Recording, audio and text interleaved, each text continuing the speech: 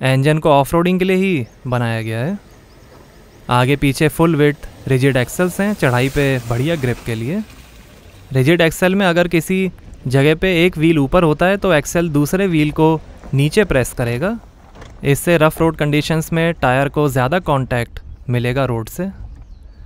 Ladder frame chassis है, ज़्यादा torsional rigidity के साथ, बढ़िया ऑफ़ के लिए।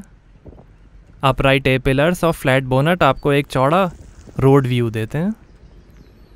शॉक को एब्जॉर्ब करने के लिए डिज़ाइन की गई हैं सीट्स बॉडी एंगल्स की बात करें तो 50 degree departure angle 24 degree ramp break over angle और 36 डिग्री अप्रोच एंगल आपको कहीं भी चढ़ाई करना आसान बना देंगे।